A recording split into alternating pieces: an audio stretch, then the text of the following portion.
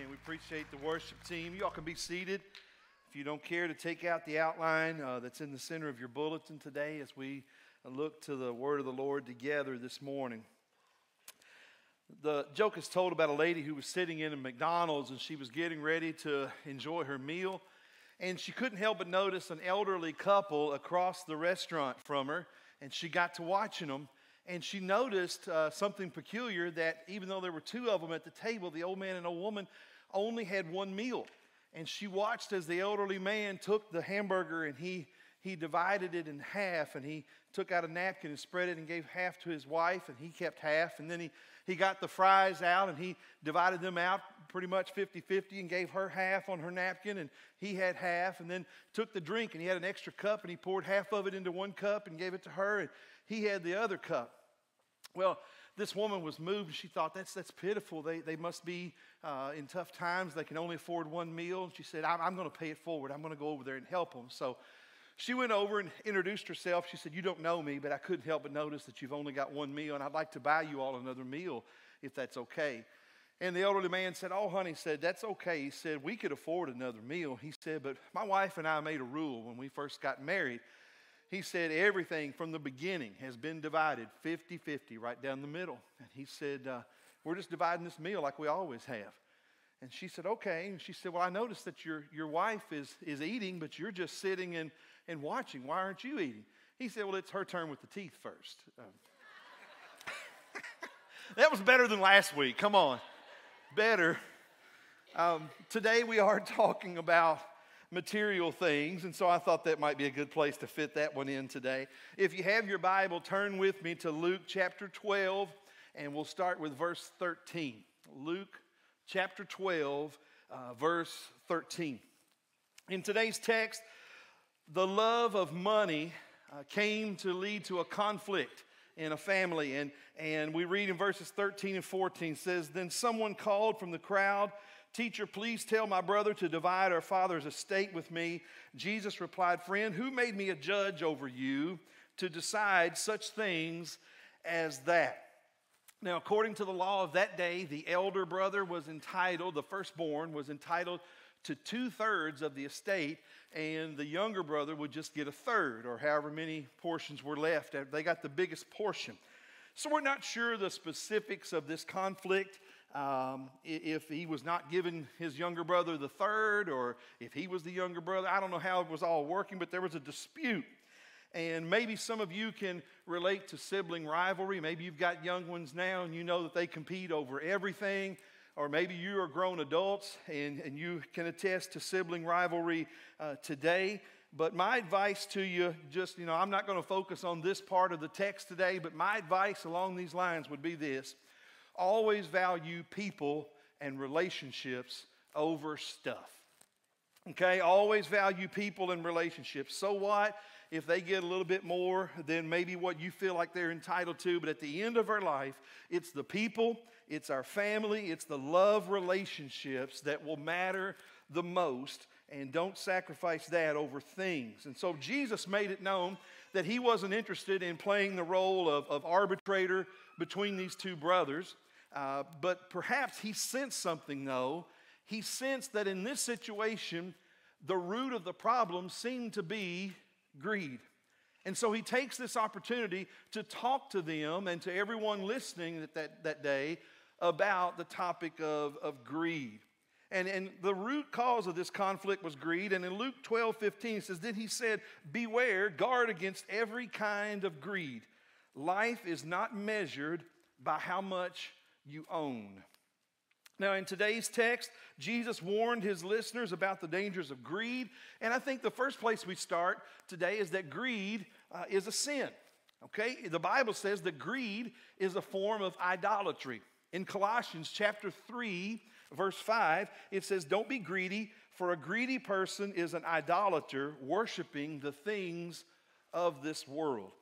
In subtle ways that we often don't realize, stuff and the love of material things, it just kind of creeps in.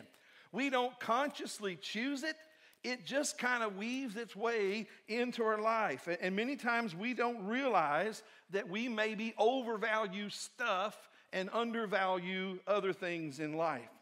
Most of us like to think we don't have a problem with greed. Maybe you're thinking of people that you hope are hearing this message, that they have problems with greed. But it goes back to what I shared last week that the two big indicators of whether we might have a problem with stuff is how we spend our time and how we spend our money. Those are truth tellers about our real priorities. So, with that thought in mind again, let's look further. Material wealth, the Bible says, has a tendency to distract us from our spiritual need. You know, Jesus talked a lot about money. Uh, Jesus knew the huge distraction that material things could be. Revelation chapter 3, he's speaking to one of the churches and he describes the problem of this church. And he says, You say I am rich, I have everything I want, I don't need a thing. And you don't realize that you're wretched and miserable and poor and blind and naked. I've read accounts that say that when missionaries are, are trying to share the gospel, they find a greater receptivity to the gospel overseas in what we would consider third world or developing nations. There's a greater uh, receptivity to the gospel in those places than there are right here in the streets of America. And on the flip side of that, it seems to be true that the more we have, the, the more uninterested we are in spiritual things. How many times have we seen celebrities seem to change their whole values when they suddenly hit fame and, and money and fortune and all the things that go with that? Then they change drastically in who they are after all that stuff comes into their lives. We typically don't think of ourselves as rich, but I've shared before, you probably heard it, but if you live in the United States, you pretty much are in the top 10% at least of wealth worldwide just by living in this country. Jesus commented on how material wealth makes it so much harder to stay focused on what truly matters in life when he said this in Matthew 19. I'll say it again. It's easier for a camel to go through the eye of a needle than for a rich person to enter the kingdom of God. Now, if you think about that today, that's, that's all of us as Americans. We are blessed to live in this land of plenty that, that we live in. And a lot of people seem to fear poverty today, but Jesus is saying, really, if you boil it down, what we ought to be more afraid of is wealth because of what it can do to us spiritually. Well, he, as Jesus often would do, he, he tells them a story to illustrate the point about greed that he was trying to make. And so the story starts in verse 16. Then he told them a story. A rich man had a fertile farm that produced fine crops. And he said to himself, what should I do? I don't have room for all my crops. Now, this man, it's important to note, he already had more than he needed, okay? And so things are going so well that his biggest problem is that he doesn't have room enough to put all of his blessings. And, and, we might be able to relate to that again as Americans when we see that we've got all this stuff and nowhere to put it. And so we, we pay to rent storage buildings. I, I read this week that over 10% of American households are renting a storage unit so they have a place to put all their stuff. Now, that's not an indictment on storage units, you know, but, but that's saying something that we sometimes we fill our garages where we're supposed to put our cars with, with all this stuff so we can put our cars outside, right? Because we got to have somewhere to put our stuff. And this man says, I'm so blessed, uh, I don't have anywhere to put it all. So the desire for wealth has led many people to compromise their integrity and to take foolish risks that can cause them harm. 1 Timothy 6 9 speaks to this. It says, But people who long to be rich fall into temptation and are trapped by many foolish and harmful desires that plunge them into ruin and destruction. Have you ever thought, you know, if I just had a little more money, I wouldn't have some of the worries I have right now? You know, if I just could, could bump my income up to this level, or if I could, could just get a, a surprise amount of income so I could pay off this, this deal, this situation, and, and get out of this jam, I wouldn't have as many worries. Then I would be sailing smooth. But often the truth is, and some of you who've got a little wisdom know have found this to be true, often more money and more stuff brings more worries and more problems. and it just are different problems with dollar signs attached to them. Perhaps you've heard of the, the many stories of people who've won the lottery. And uh, I think there was a show on TV, The Lottery Ruined My Life. Is that a show, or did I just dream that? And all these stories of people that, that thought, man, if I could just win the lottery, that would solve all my problems. But it created problems uh, in their lives. Here's just one story I came across uh, this week. One man lost $16.2 million and ended up a million dollars in debt after one year. Uh, a former girlfriend successfully sued him for a third of his winnings. Uh, his own brother allegedly hired a hitman to kill him, hoping to inherit a share of the winnings. After putting money into a business, he sank into debt and uh, he served time in jail for firing a gun over a bill collector's head. Uh, he said, I wish it never happened. It was totally a nightmare. I was much happier when I was broke, he said. And he eventually, according to the story I read, lived on $450 a month uh, until his death. And so maybe he was happier that way than he was with all the money. It's an illusion to think if I had more money, I'd have fewer problems. The man that's the story in the story that Jesus told had come up with a plan. I don't have place enough to keep all the blessings I have. So he said, I know, in verse 18. Then he said, I know, I'll tear down my barns and build bigger ones. Then I'll have room enough to store all my wheat and other goods. And I'll sit back and say to myself, My friend, you have enough stored away for years to come. Now, take it easy, eat, drink, and be merry. See, the problem, though, was that this man's plan was all about him. It was all about more stuff. And there's no indication that he gave any thought to how he could, first of all, acknowledge God as the source of all of his blessing. I just, as I read the story, tend to think this man started to think he was just that clever, that he had everything in life going his way. And, and notice the language that he uses in this verse where he says, My crops, my barns, my wheat. And a proper perspective on material goods begins with the fact that it all belongs to God. It's all His. We've just got it on loan for a while. One of the words that the Bible uses to describe us and how we relate to money is that we are stewards. A steward is somebody that just manages something for somebody else. And that's the way that God looks at it. James 1:17 says, "Every good gift and every perfect gift is from above, coming down from the Father of lights. What we have is on loan from God. We get to manage it for a while. We get to make some decisions with it for a while, but the day will come when it will no longer be ours and we will breathe our last, and then someone else will manage it for a while. And they'll move it around and make decisions with it, and then their time will be up and someone else will move it around. That's the, the hard facts of life. It's all God's. We just take turns managing it. We don't give God the tithe, we return the tithe to God. I, I, was reminded of this principle when my boys were younger. And I can remember sitting in a restaurant after we had gotten the meal, and my boys' French fries looked good, right? And so I, I hadn't, I'd ordered something different, and so I just reached over to get uh, a fry or two, maybe, you know, and I got my hand swatted. Y'all ever do that? And the thought went through my head if I want to eat one of them, if I want to eat 10 of those fries, I will. Because guess what? I paid for the whole meal right here. Sucker, you hadn't had a job yet, right? It's all mine. And you're telling me I can't have a fry, right? Now, maybe you've had a similar struggle with, with, with your kids, but I think that sometimes God must feel that way when we say, I don't know about this tithing stuff, God. I, I don't know, you know, I, I, I just, I, I'll, give, I'll see what's left, right? And, and, and we, we look at it and God says, It's all mine. You're not giving me anything, you're returning a portion to me. There's no indication that this man in this story gave any thought to how he could pass on any of the blessings to other people. There's no thought process of saying, you know what, I've got enough. I've got everything I need more. How could I bless somebody else? Not a part of his process, his thought process. Listen, it's inconsistent with Christianity to hoard your wealth and to only spend it on yourself. 1 John chapter 3 verse 17 says, "But if anyone has the world's goods and sees his brother in need, but yet closes his heart against him, how does God's love abide in him?" You know, another principle the Bible teaches us about worldly things is that a desire for more can keep you and rob you of the ability to enjoy what you already have. It robs us of contentment.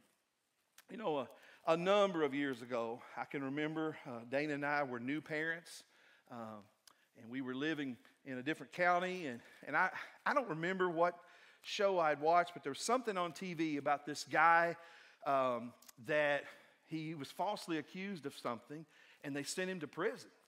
And so he served a number of years. I forget how, how long he was in there, but a long time he was in prison, away from his wife, away from his children, and it was a great injustice. But then eventually the truth came out, and uh, he was turned loose from prison.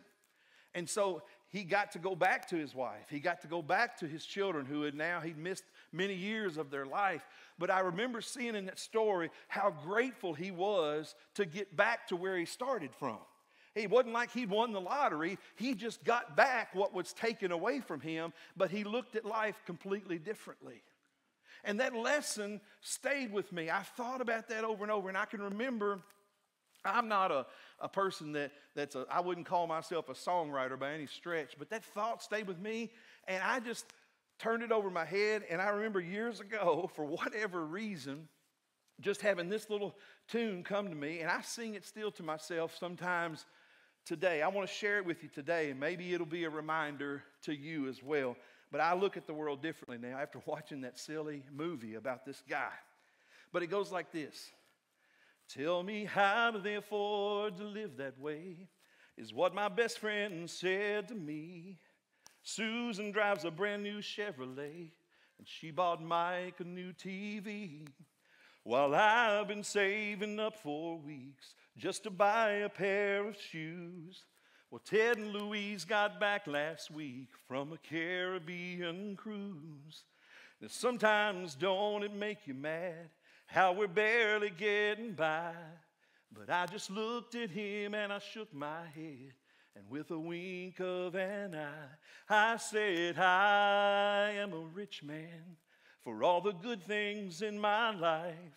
For if you took away all I have today, my two boys and my wife, and then somehow I got them back again, oh, how thankful I would be. For the things that I already have are the things that mean the most to me. He's, he said, Well, yeah, I guess I see your point. It's all in how you look at things. There's so much more to this world than fancy cars and diamond rings. It's not in having what you want in life, it comes from wanting what you have. If you've got the Lord above and someone that you love, well, then you're on the right path. So I say, I am a rich man for all the good things in my life. For if you took away all I have today, my two boys and my wife, and then somehow I got them back again, oh, how thankful I would be. For the things that I already have are the things that mean the most to me. And you know what? That's what greed robs us of, of a healthy, perspective on life called contentment. And greed, this desire that says, that says, if I just had a little bit more, if I could just get to this, if I could just achieve this, then I'll finally be happy.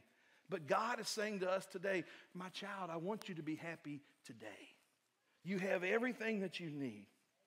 You know, I encourage you to be, be generous with those who are in need. And, and here's the, the question that I, I've asked myself and I ask all of us today. What if we had to put a dollar amount? How much money would it take for you to be happy?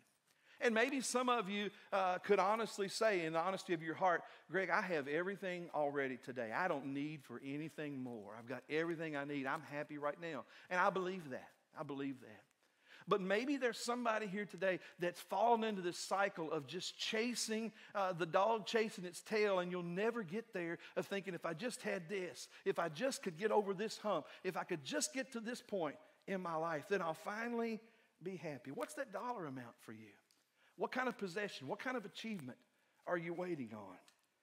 You know, if we shift the focus today, and that's what I want to do for our remainder of our time, and instead of building bigger barns, Let's talk today about taking what we have and building blessings in our life and in the lives of others.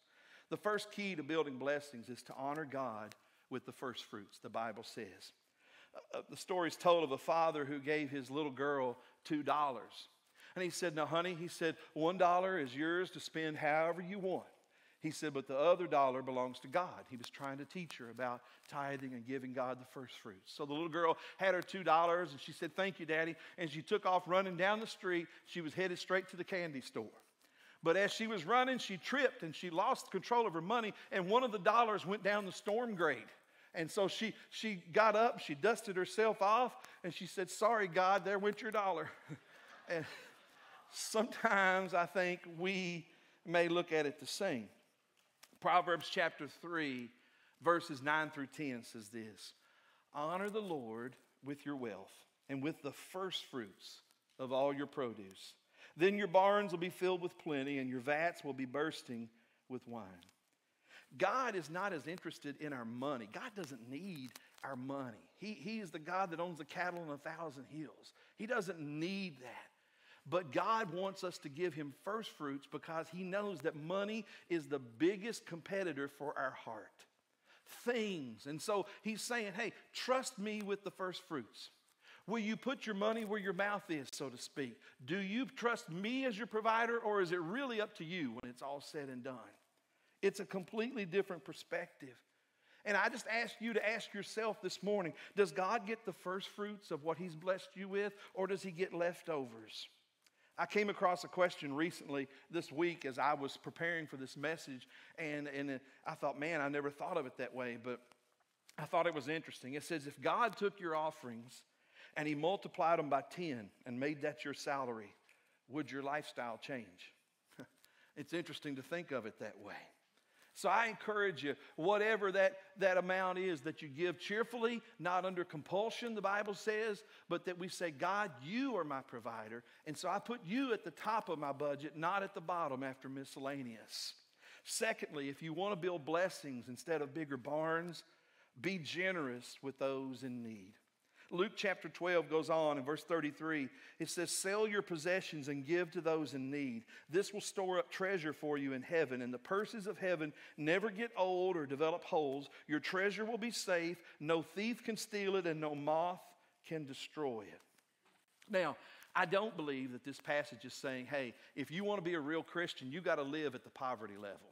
And if you have anything, if you ever go on a vacation, if you ever do anything to enjoy life at all, then you're sinning. That's, that's not what this is saying. God is a father who loves to bless his children. He loves to see us enjoy life. What he doesn't love is to see us spend everything on ourselves. He doesn't want us to be reservoir, reservoirs. He wants us to be conduits, channels of blessing to others. And so, in, in, as you spend and prioritize the money that you're blessed with, also leave room and say, you know what, here's, I want to take a portion of it and bless other people along the way. I want to honor God and I want to bless some other people along the way.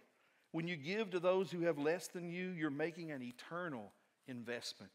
You know, if the stock market went bad, some of you might lose some money.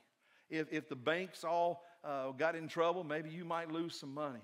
But what you pay forward into eternity cannot be lost and it cannot be taken from you. You're investing your time and your resources in something that will long outlive you. Thirdly, invest in things that are eternal. 1 Timothy chapter 6 says, Teach those who are rich in this world. And remember, as Americans, that's basically all of us. They should be rich in good works and generous to those in need, always ready to share with others. By doing this, they'll be storing up their treasure as a good foundation for the future so that they may experience true life. You know, when you boil life down to the bare essentials, what our remaining time here on this earth is, is most about is to glorify God. And how do we glorify God? Through worship, but listen, also sharing the good news of the gospel, advancing his kingdom. And when you get to the end of your life, what do you want to be said about you? Here's one thing that I bet you don't want to be said about you. Boy, he, he, he used all of his resources and he lived life to the fullest. I don't want that to be said of me. I want it to be said that he blessed other people, that he gave his, his time away. He gave to others and helped them when they were in need, and he gave himself away. You know, I feel good about the money that I give here to this church. And I'm in a position where I can see many times the fruit of what happens to that. And uh, this is in no way trying to manipulate you. You know, we're doing fine with the budget and all that. Don't read anything into this that I'm not saying. But I feel good about giving to the ministry of this church because I see the lives that are changed. I see the difference that it makes. And sometimes there are differences made I don't even know about. But when I'm gone from this earth and somebody else is moving around the resources that I have, I believe that the investments we make in the kingdom will long outlive us. What are you planning to leave behind when you leave this earth? Will the resources God let you manage for a while still be making a difference when you're gone? You know, another thing that I believe wholeheartedly is that our acts of kindness and generosity can open doors for the gospel. You know, one of the things that we could be accused of, and I'm sure we probably are, is that we spend a lot of money on having meals and feeding people. Or we spend a lot of money on things that we give away to people uh, here in this community and beyond. And people would say, well, well, Greg, you know, you ought to be spending that on the gospel. And I look at it that we are. Because anytime we have a meal and people in our community gather to receive that meal, guess what they're also going to get? They're going to hear the gospel of Jesus Christ. They're going to hear about him. And so, if it takes a meal to gather people, but it also might fill somebody's belly that wouldn't have had a good meal otherwise. But we're also gathering a crowd to proclaim about eternal life and invest in their eternity. So, we don't apologize for that you know, acts of love and generosity and kindness in your life can build a trust and a credibility with you and someone else in your life, in your workplace or in your neighborhood, whatever it might be, that they care more because they know that you care. They care more about the message that you have to share. So use the resources you have to bless people and gain a hearing for the gospel. Let me, before I close, talk about the greatest investment of all in verses 20 and 21, it says, But God said to him, He's talking about the man in his story he told, You fool, you will die this very night, and then who will get everything you worked for? Yes, a person is a fool to store up earthly wealth, but not have a rich relationship with God. Now, he didn't call the man a fool because he, he built up wealth. Okay? I, I, Greg's not preaching today that if you got above a certain amount of money, you're a sinner and there's no way you can go to heaven. That's not what I'm saying. He was a fool because wealth had him. And it was all about him. At the moment of his death, none of this man's wealth or accomplishments were worth a dime. The only thing that matters when we breathe our last is what we did with Jesus Christ. And so maybe you're here today and life's going okay for you right now. You've got plenty of money in the bank, and, and your job is, is as secure as anybody's job could be with everything that's going on in the world. And you feel pretty good about your place in life. But let me ask you the most important question How are things with you in Jesus Christ? Have you ever asked Him to come into your heart and to be the Lord of your life, of everything in your life? Is the Holy Spirit your daily companion in all of your thoughts and your decisions and your priorities? Are you living for His glory? Mark chapter 8, verse 36, it says, And what do you benefit if you gain the whole world, but you lose your own soul? Don't be distracted by the things of this world. Things are fine, things are good. I hope that you have all that you need and more and are blessed. Just don't let it distract you from what matters most. The material things that we accumulate in this world will someday be someone else's possession but the things that we pay forward into eternity will always matter. Don't waste your life focused on building bigger barns. Invest your time and resources in building blessings in, in the lives of others. The history books are filled with the names of people who made a name for themselves, who accumulated great things, they conquered things, they ruled over things, they built power upon this earth. But if they didn't know Jesus Christ as their Lord and Savior, it's all for nothing. The final analysis is they were a fool. The Bible says that the only, it doesn't matter how many history books your name's recorded in, if your name's not in the book of life, You're the biggest fool of all. Today, if you're not confident your name's in that book, we're going to offer an invitation. And I'm going to ask that you would come and, and, and just speak with John and myself over here to, to the curtain to your right.